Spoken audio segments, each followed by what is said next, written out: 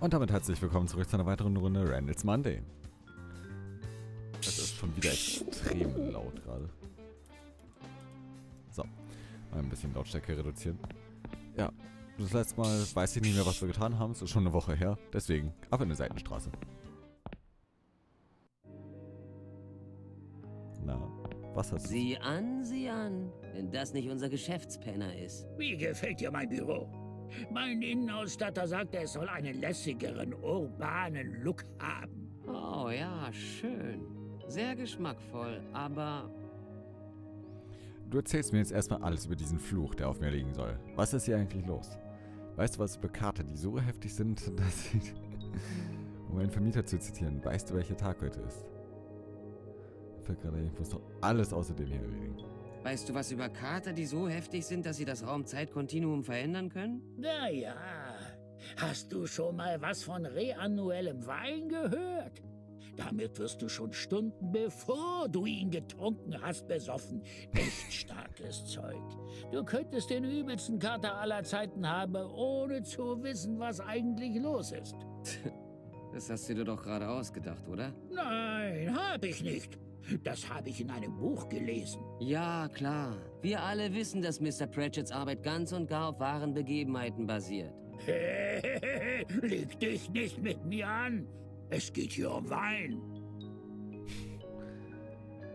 Um meinen Vermieter zu zitieren, weißt du, welcher Tag heute ist? Nein, Ich meine, ist heute Montag, Dienstag? ich sagte, ich weiß es nicht. Es ist nur, ich habe das Gefühl, ich erlebe denselben Tag nochmal. Das Gefühl kenne ich, Kumpel. Wirklich. Tust du das? Natürlich, sieh mich doch an. Ich bin immer von Kartons umgeben, gehe von Gasse zu Gasse in der Hoffnung, dass irgendein afrikanischer Prinz vorbeikommt und mir einen Umschlag in die Hand drückt. Ah, ich weiß gar nicht, wieso ich eigentlich noch mit dir rede. Weil ich all die Antworten habe, die du suchst. Aber hast du auch die richtigen Fragen? Natürlich. Habe ich die richtigen Fragen? Bin ich in der Zeit gefangen? Bin ich tot? Oder was anderes? Hab ich die richtigen Fragen? Die hast du, du weißt es nur noch nicht. Was soll das denn wieder heißen? Nichts. Ich wollte nur clever klingen. Tja, Mission fehlgeschlagen, Alter. Bin ich in der Zeit gefangen? Das ist nicht die Frage. Die Frage ist, wo bist du genau jetzt? Okay. Wo bin ich? Du bist hier. In der Gasse. Weißt du das nicht? Ich kann nicht glauben, dass ich darauf reingefallen bin. bin ich tot? Nein, das Konzept wäre für die Leute zu enttäuschend. Was für Leute? Schon gut. Ich glaube, ich gehe mal besser, bevor du noch anfängst, über Asimovs Gesetze der Robotik zu reden. Wir sehen uns. Ja, das werden wir. Verfluchter. Alter, fang nicht wieder damit an. ah, wegen dieser Sache, über die wir geredet haben. Du erzählst mir jetzt erstmal alles über diesen Fluch, der auf mir liegen soll. Was ist hier eigentlich los? Wir alle haben damit zu kämpfen, uns selbst zu finden.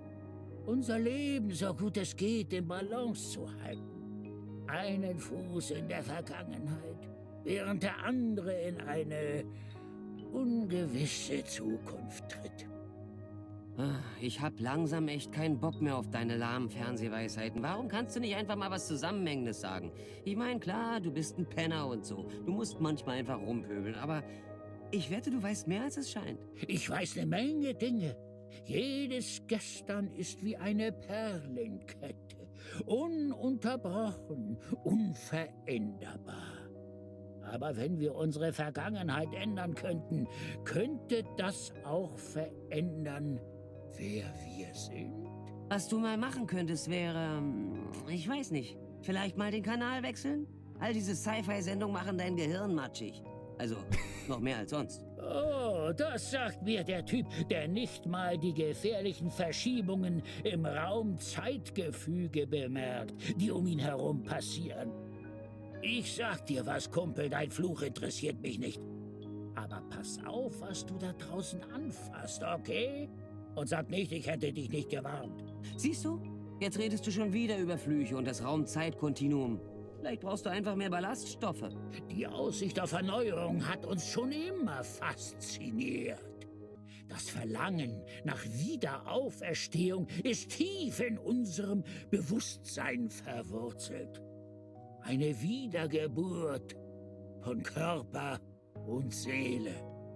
Eine zweite Chance. Fertig mit der billigen Philosophiestunde? Okay. Warum bist du der Einzige, der weiß, was mit mir los ist? Weil ich das auch schon hinter mir hab, Junge. Hör zu, alles, was du anfasst, wird gezeichnet. Verflucht, genau wie du. Verdammt dazu, in einer Schleife gefangen zu sein, ohne sich zu verändern. In dieser Welt und in jeder anderen. Hier und jetzt. Alles, was du berührst, schreibt die Vergangenheit neu, damit die Gegenwart, wie wir sie kennen, nicht auseinandergerissen wird. Eine Gegenwart, die anders ist, aber doch immer gleich bleibt. Mann, ich verstehe kein Wort. Die Zeit wird es zeigen, mein Freund. Wenn du noch mehr Hinweise brauchst, geh einfach dorthin zurück, wo alles begann. Claytons? Das weißt nur du allein. Okay, ich schau vorbei, sobald ich kann.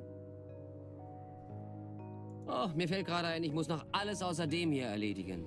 Tschüss. Äh, ja, das war der übelste Mindfuck gerade.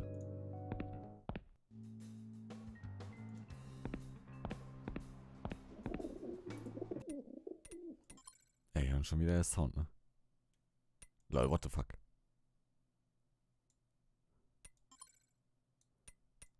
So.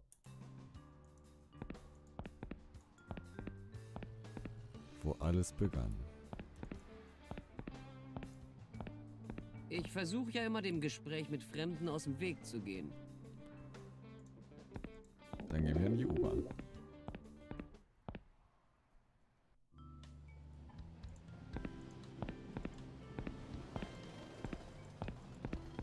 Ich vermeide den Kontakt mit Fremden, soweit es geht.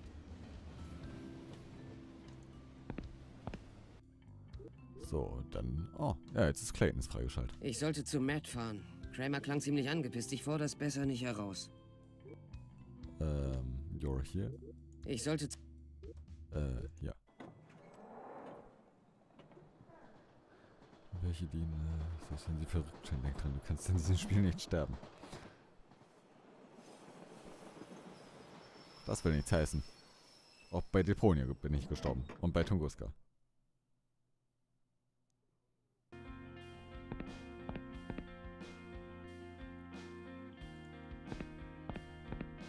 Den lasse ich lieber in Ruhe. Oh gut, dann gehen wir mal rein.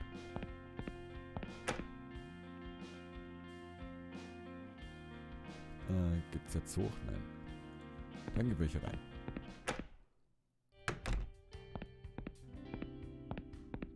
Sally, wie geht's dir? Halt die Fresse, halt deine Scheißfresse. Hey, was habe ich denn gemacht? Oh, richtig, du tust niemals irgendwas, Randall Hicks. Gott, ich hab dich so satt, hau ab. Was ist passiert? Was ist denn in dich gefahren? Normalerweise fängst du nicht an zu schreien, bis ich was kaputt gemacht habe. Das kann doch alles nicht wahr sein. Was soll ich nur machen? Wir haben die Hochzeit schon bezahlt, ich glaub's einfach nicht. Was tue ich jetzt? Was zur Hölle tue ich jetzt nur? Ganz ruhig, alles wird gut. Was? Willst du mich verarschen? Naja, das, das sagt man doch in so einer Situation, oder? Raus. Im Ernst. Lass mich einfach allein. Da ist ein Kopf, der auf dich in der Küche wartet und der sieht nicht sehr glücklich aus. Ähm, Übrigens ist gestern irgendwas passiert. Meine Erinnerung ist etwas vernebelt. Du willst wissen, was passiert ist? Tja, ihr seid passiert. Ihr habt's mal wieder verbockt. Alles, was ich wollte, war meine Verlobung feiern. War das denn zu viel verlangt? Aber wir haben doch eure Verlobung gefeiert. Oder nicht? Das ist also deine Vorstellung von feiern? Mein Verlobter hat sich buchstäblich über unsere ganze Küche verteilt. Oh ja, was für eine Feier! Über die ganze Küche verteilt? Ganz genau! Was zur Hölle hast du ihm gestern gesagt? Ich? Gar nichts. Du hast was gemacht. Ich weiß es einfach. Hey, er war mein bester Freund. Ich würde nie etwas tun, das ihm schadet. Permanent schadet. Was hat Matt diesmal angestellt? Du Du weißt es wirklich nicht? Woher denn? Weil du ihn immer zu allem möglichen verrückten Scheiß anstiftest. Na los, sieh dir dein jüngstes Werk an. Du wirst beeindruckt sein. Sieht für mich nicht so lustig aus, du Mörder. Äh, Ich? Was? Halt's Maul! Hat er gesagt, was er will? Nein, aber denk, du hast etwas mit all dem zu tun. Und ganz ehrlich, das glaube ich auch. N naja, das stimmt aber nicht. Mal echt, blinder Vandalismus ist mehr mein Ding, das weißt du doch. Du widerst mich an. Warum? Wegen dem, was du getan hast. Was habe ich denn getan? Lies den Brief, dann weißt du's. Welchen Brief? Mads Abschiedsbrief. Oh, der Brief. Okay, hier mal ein Tipp. Lern mal deine Wutausbrüche unter Kontrolle zu bekommen. Wutausbrüche! Wutausbrüche! Ja, genau das ist es. Okay, dann gehen wir in die Küche. Entfernen wir uns mal von der sympathischen Frau. Heilige Scheiße, Alter! Das habe ich nicht erwartet. Und was hast du erwartet? Frischen Apfelkuchen? Der war gut nett. Naja, nicht unbedingt Apfelkuchen, aber schon irgendwie Gebäck. Mr. Randall Hicks? Äh, Ich habe es lieber, wenn Sie mich Susan nennen. Jetzt wird mal nicht frech, Kleiner. Ein falsches Wort und du wanderst direkt hinter Gitter. Und glaub mir, Susan wird noch der netteste Name für dich da drin sein. Er war mein bester Freund, ich würde ihm nie etwas antun. Beste Freunde, hä? Ja, Tja, irgendwas sagt mir, du bist gar nicht so ein guter, bester Freund gewesen. und irgendwas sagt mir, Sie sollten im Dienst nicht so viel rauchen. Der Junge hat recht, Sir. Wenn ich deine Meinung hören will, sage ich's dir schon. Hey, wenn ich Alpha-Männchen google, glauben Sie, ich krieg dann Ihr Bild als Ergebnis, Sergeant? Oh, sieh an, wir haben uns einen Witzbold geangelt. Denkst du, das hier ist witzig? Na sag schon, Witzbold. Ich weiß nicht, schwer zu sagen. Einerseits tut Matt mir leid. Wieder mal. Andererseits, also sein Torso da so auf dem Boden, überall Blut, da, das ist ein ganz neues Gefühl. Ich weiß nicht, wie ich das einordnen soll, aber auf eine gewisse Weise ist es komisch. Ja, definitiv. Matt tut dir wieder mal leid? Was soll das heißen? Oh, nichts. Er ist nur einmal im Vergnügungspark verloren gegangen und hatte echt Angst, aber das war nichts, was man mit einer Monsterportion Zuckerwatte nicht hätte wieder hinbekommen können. Okay, kommen wir mal zur Sache. Woher wusstest du, dass das Matthew Griffins Leiche ist? ähm.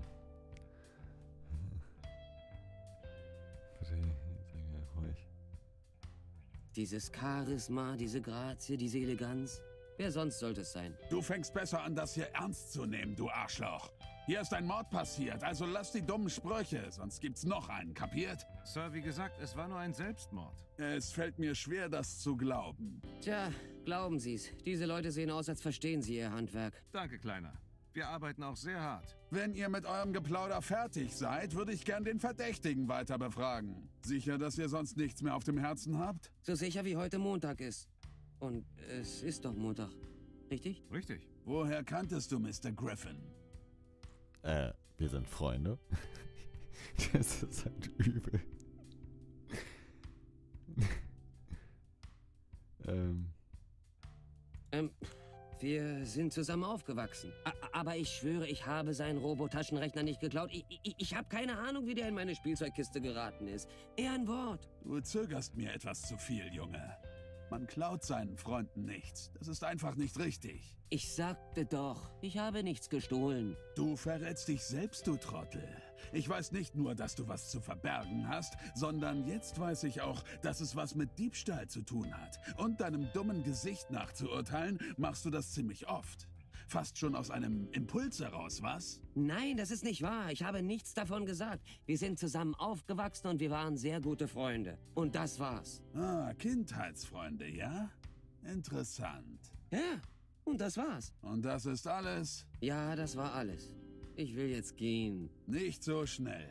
Ich will genau wissen, wo du warst und was du gemacht hast, als dein Freund hier sich entschlossen hat, die Wände mit seinen Innereien zu verschönern. Naja, also das, das, das ist etwas kompliziert, weil, äh, lustige Sache. Oh, wirklich? Na dann schieß los. Ich liebe lustige Geschichten. Sehen Sie, ich, Ich habe gestern eine Menge gemacht, war ein irrer Tag, aber dann bin ich aufgewacht und nichts davon war passiert. Ich meine, schon irgendwie, aber nicht gestern, sondern heute. Aber nicht im selben heute. Verstehen Sie? Äh, nein, tue ich nicht. Und das war nicht lustig. Also frage ich einfach nochmal. Was hast du letzte Nacht gemacht? Äh, Ich weiß wirklich nicht, was ich sagen soll. Mein Vermieter sagte, ich wäre gestern betrunken nach Hause gekommen. Genau hiermit.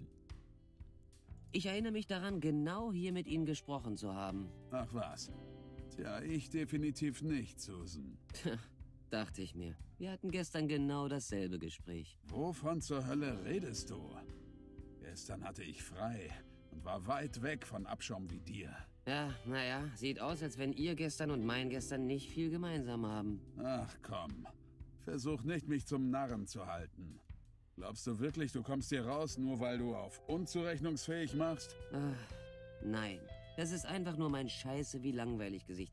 Und wenn wir dann fertig sind, würde ich gerne abhauen. Ich habe eine Menge auf dem Zettel, verstehen Sie? Nicht so schnell, Allison. Das hier ist noch nicht vorbei. Jetzt ist es Allison. Echt jetzt? Gefällt dir nicht? Dann verklag mich doch. Werde ich auch machen. Äh.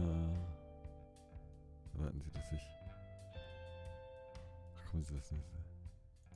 Was wollen Sie denn noch? Eine Autogrammkarte? Ich würde ein unterschriebenes Geständnis vorziehen. Ich weiß, dass du was verheimlichst und ich werde nicht aufgeben, bis ich herausgefunden habe, was das ist, Miss Hicks. Im Ernst, was wollen Sie von mir? Ich weiß nichts. Du standest dem Opfer nahe und dein Name tauchte im Abschiedsbrief auf. Meinst du nicht, das macht dich verdächtig, Olivia? Oh, großer Gott. Suchen Sie sich einfach einen Frauennamen aus und bleiben Sie dabei, okay? Sie verwirren mich. Das ist mein Job. Das erinnert mich voll an. Wie heißt denn der hier? An Dr. Irgendwas aus Scrubs. Wie. Wie heißt denn der andere? Äh, wie er den halt immer mit Frauennamen betitelt hat. Ja, man sieht, ich habe diese Serie intensiv geguckt. Was mir heute übrigens beim äh, Schnitt aufgefallen ist, dass Wilson, der Volleyball im Büro des Postamts, zu sehen ist. Erwarten Sie, dass ich sage, ich habe ihn getötet? Wird nicht passieren. Natürlich nicht, das weiß ich doch. Aber ich will wissen, wie tief genau du drin steckst. Und ich press das aus dir raus. Alles. Und ich glaube, ich werde es genießen. Ach, kommen Sie. Lassen Sie mich schon diesen blöden Brief lesen, dann haben wir es hinter uns. Nur zu, lies ihn. Aber ich sag dir jetzt schon, du siehst nicht sehr gut darin aus. Oh, und äh, beweg deinen Arsch hierher zurück, wenn du durch bist. Na klar, immer noch. Oh, Captain, mein Captain. Die schwere Fahrt ist aus. Eine ungewisse Zukunft erwartet uns. Und das erste Mal habe ich Hoffnung. Denn wenn eine Maschine, ein Terminator, den Wert menschlichen Lebens erkennen kann, können wir es vielleicht auch. Ich möchte Randall für jede einzelne seiner selbstsüchtigen Taten danken. Dank dir sind meine Augen jetzt endlich offen. Und jetzt, da du mir das genommen hast, was mir am liebsten ist, weiß ich, ich muss den Tod nicht fürchten. Dir möchte ich auch danken, Mutter. Danke fürs Renovieren der Küche, für all die hochwertigen Geräte. Aber das, was ich am meisten bereue, ist, dass ich dich zurücklasse, Sally. In diesem Karussell, das wir Leben nennen, warst du das Beste, was mir jemals passiert ist. Es tut mir leid, dir das anzutun, aber du musst weitermachen. Flieh vor diesem Wahnsinn und dreh dich nicht um. Lass dich von Randall nicht auf die dunkle Seite ziehen. Das allein zählt. Fall nicht auf ihn herein. Eine Sache noch. John mit dieser Maschine zu sehen. Es machte die Dinge plötzlich so klar. Der Terminator würde niemals aufgeben. Er würde ihn niemals verlassen. Und er würde ihm niemals wehtun, niemals anschreien, niemals trinken und ihn schlagen oder sagen, er sei zu beschäftigt, um Zeit mit ihm zu verbringen. Er würde immer da sein. Und er würde sterben, um ihn zu beschützen. Von allen möchtegern Vätern, die kamen und gingen, war dieses Ding, diese Maschine, der einzige, der etwas taugte. In einer wahnsinnigen Welt war das die einzig rationale Entscheidung. Ergebenst Walt Whitman. Okay. Wow. Ich weiß nicht, was ich sagen soll. Den Selbstmord mal außen vor. Reinste Poesie. Ich habe immer noch das Bild in meinem Kopf, wie beide spielen, während die Mutter im Hintergrund steht, das Messer in der Hand. Alter, ich bin zu Tränen. Gut. Dann war's, dann war's das schon wieder. Ich bedanke mich an der Stelle bei euch für eure Aufmerksamkeit, hoffe ihr hattet Spaß und wünsche euch einen wunderschönen Tag. Bis dann und ciao, ciao.